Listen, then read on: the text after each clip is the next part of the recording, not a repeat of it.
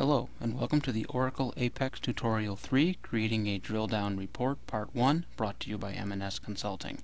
This portion of the tutorial covers creating the application and creating and modifying the first report. On the screen is displayed the article link which has more in-depth information about this tutorial as well as the starting point and assumptions for this tutorial.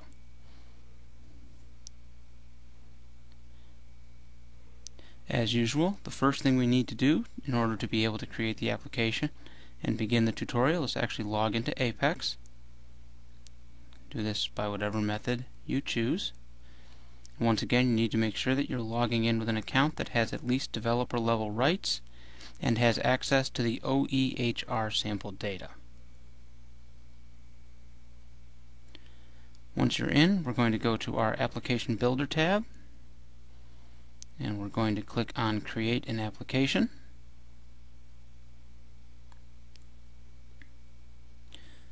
And create an application and click next.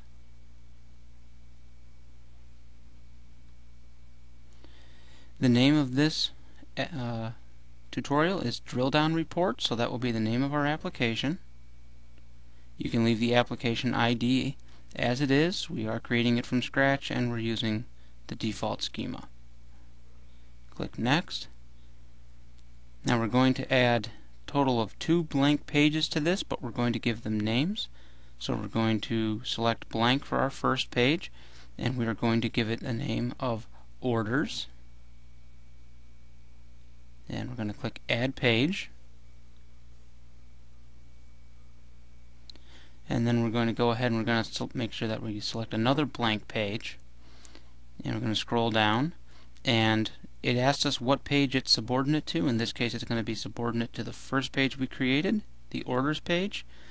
And we're going to make this page be called order items. Get that set and click add page. And we have both our page there, and you can see that page 2 is indented some, showing that it is subordinate to the first page. Click next. We only need one layer of tabs, so we can go ahead and click Next. Again, we do not need any shared components from other applications. Our attributes are all fine as they are, but you can double check them if you choose. Click Next. And it's going to ask us which visual theme we want. We're going to use theme number 2. Click Next and it will ask us to confirm our choices and click create. Now the next thing we have to do is we have to create the first report.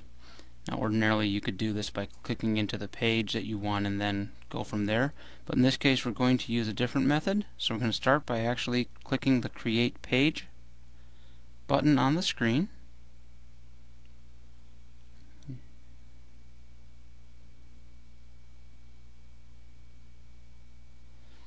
this is going to be a report page.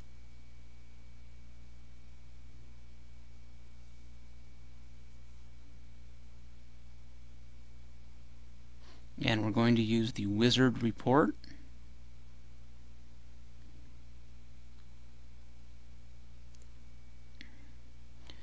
And it's going to ask us the page number. That now, we're going to actually change it to say page 1, so this will actually put it into the existing page. The page title is going to be called Orders, and the region title is going to be called Orders as well. And you can leave the region template and the breadcrumb selections alone. And then you click Next. We do not need to use tabs for this. Tables and columns. We make sure that our table view owner is where our schema is for OEHR. Under Table View, we're going to click our search button and select OEHR Orders. This will bring up a list of all available columns. We need to select the order ID, the order date, and the order total, and then click the arrow pointing to the right to push them into the displayed columns.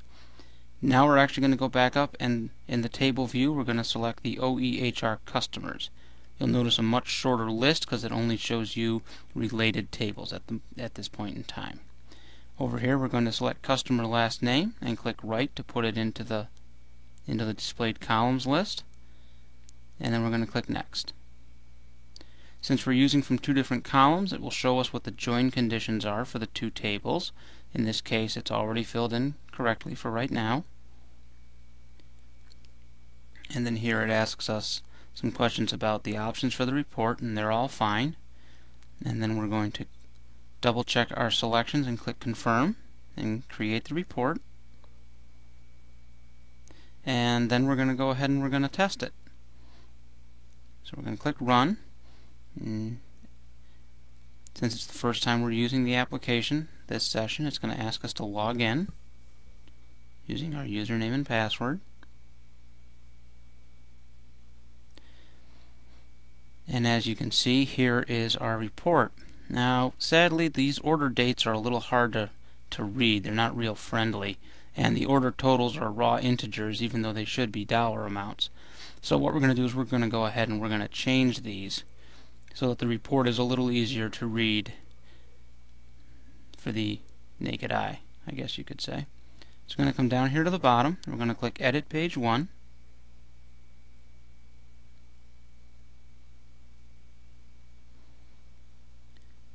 And then under Page Rendering Regions, zoom out a little bit here, under page editing regions, we're going to select the orders report link.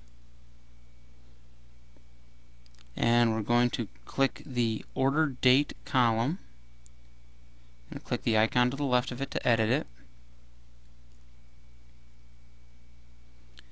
And then we're going to click on the formatting tab up at the top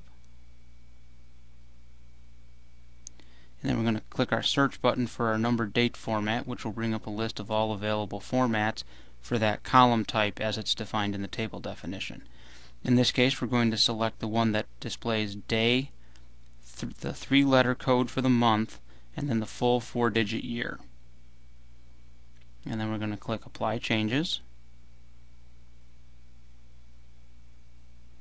and it takes us back to our region attributes or report attributes screen and we're going to go to order title. And we're going to click the edit icon to the left of that.